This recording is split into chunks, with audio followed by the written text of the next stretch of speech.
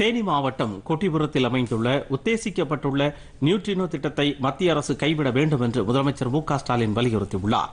பிரதமர் நரேந்திர மோடிக்கு அவர் எழுதியுள்ள கடிதத்தில் நியூட்ரினோ திட்டம் செயல்படுத்தப்பட உள்ள சம்பல் குட்டக்குடி ஆற்றின் நீர்பிடிப்பு பகுதியாக உள்ளது என்றும் மலை உச்சியில் ஆயிரம் மீட்டர் ஆழத்தில் சுரங்கம் தோண்ட திட்டமிடப்பட்டுள்ளதால் பாறைகள் சரிந்து பாதிப்பு ஏற்படும் என்றும் கூறியுள்ளார். மேலும் நியூட்ரினோ திட்டத்தால் தேனி பொட்டிபுரம் பகுதியில் சுற்றுச்சூழல் பாதிக்கப்படும் என்றும் கூறியுள்ள முதலமைச்சர் மேற்கு தொடர்ச்சி மலையின் பாதுகாப்பு மிகவும் முக்கியம் என்று உச்சநீதிமன்றத்தில் தமிழக அரசு தெரிவித்திருப்பதை சுட்டிக்காட்டியுள்ளார். சுற்றுச்சூழலுக்கும் வன விலங்குகள் பாதுகாப்பிற்கும் ஆபத்தை ஏற்படுத்தும் நியூட்ரினோ ஆய்வு மையம் அமைக்கும் திட்டத்தை கைவிட வேண்டும் என்று மு ஸ்டாலின் கேட்டுக் கொண்டுள்ளார்